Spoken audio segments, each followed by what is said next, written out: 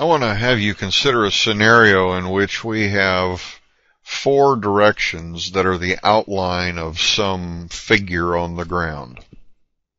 And this goes from point J to K to L to M that you can see labeled here, right? There's J, K, L, and M. We really don't care about the distances in this case, but we have azimuths that are proceeding clockwise around this figure.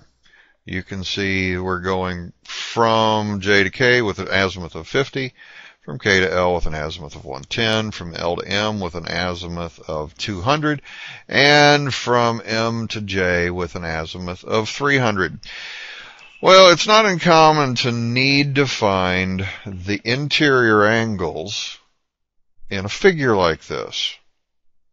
So, we, when I talk about the interior angles, I'm talking about the interior angles at the vertices of this figure. These are those four angles that we may want to come up with. So I want to help you understand something by talking about the hands of a clock. So let's consider here what we get when we look at an analog clock. In the middle of the clock, we have the pivot point for the two hands, assuming it's just an hour hand and a minute hand. And the hands point away from the center of the clock, right? As time advances, the hands move in the clockwise direction. We consider that uh, a positive operation. That is, time is adding up, right? If we ran it backwards, it would be a negative operation. We would be subtracting time. Thus, if this is just my hour hand here, and I am advancing with my hour hand from 1 o'clock to 4 o'clock, well, three hours have elapsed as that moved from 1 o'clock to 4 o'clock. Likewise, if I had to find out how long ago was 1 o'clock, when it's 4 o'clock now, 4 minus 1 is going to give me 3.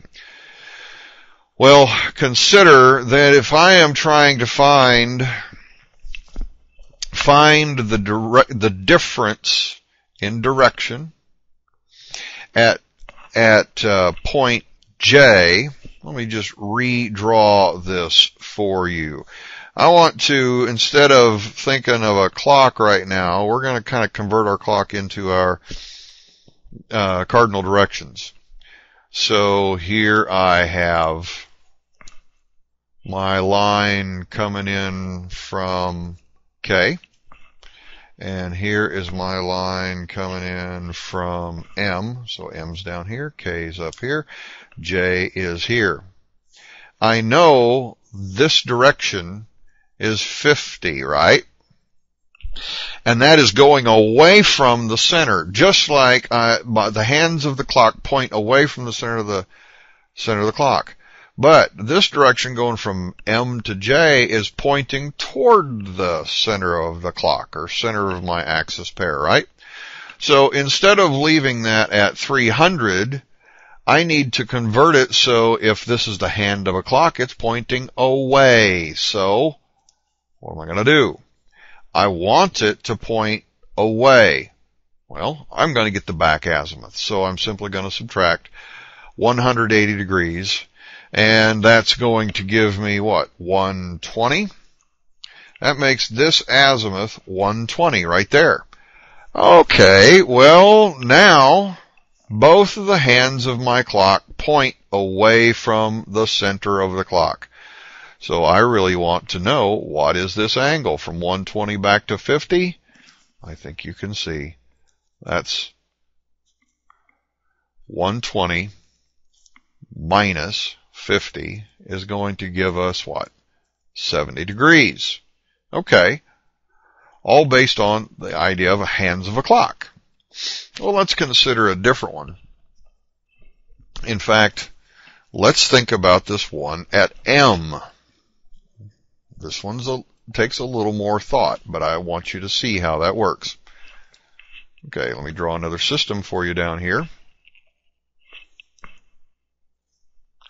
So at M, we've got point L up there. Point L is up here. And what point J is going to be over here. Now, here, going from M to J, what do we have? We know that to be 300 degrees. But L is expressed going, or LM is expressed going toward M, isn't it? So, let's apply our hands to the clock rule. The center of my clock is here, but I need line ML expressed going from M to L. So what am I going to do? I'm going to find the back azimuth of LM. And I'm going to do that by taking 200 minus 180, and that gives me 20. Okay, so that's what that angle is right there, isn't it? Between north and ML is 20 degrees. Okay, so let's think about this. What's this angle? If you know this is also 360 up here at north, well, then this has to be 60 down to there. So 60 in this case, 60 degrees plus 20 degrees is going to be 80 degrees, isn't it?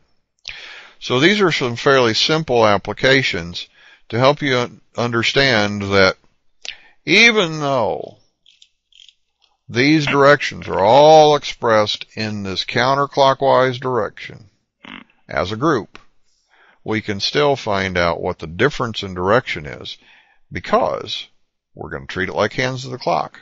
One of the directions goes away, we have to make the other one go away from the center of the clock just like uh, just like the other one.